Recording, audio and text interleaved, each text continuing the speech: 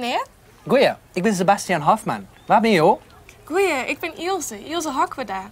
Sorry, wat is jouw achternaam? Hofman, en dan moest me ik wel dookje, hè? Oh, graag.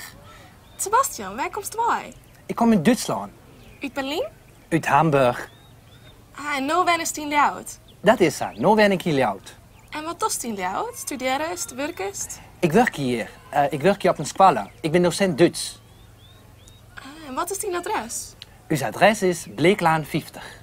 Uw adres? Ben is daar net alleenig? Nee, maar mijn vrouw en mijn baan. Ik ga een dochter en twee zwanen. Oh, wat een aardigheid. Hoe hard ben je in baan? Ze binnen vijf, zon en acht. En hoe jitten ze? Ze heten Alexander, Tristan en Aniek. Aniek mijn IE? Nee, Aniek een I. Ga je met wat naar het zin, Ljout? Ja, Ljout is een mooie stad. Werkt tien vrouw, hè? Nee, zij werkt het net. Zij heeft geen baan. Ga je met besten? Ja, we hebben kot. Oké. Sebastian, hoe oud bist je? Ik ben 34 jaar. Dus du werkst en dan hast een vrouw en drie baan.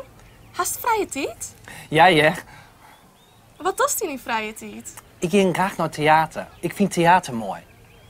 En wat voor theater? Of alles? Modern theater.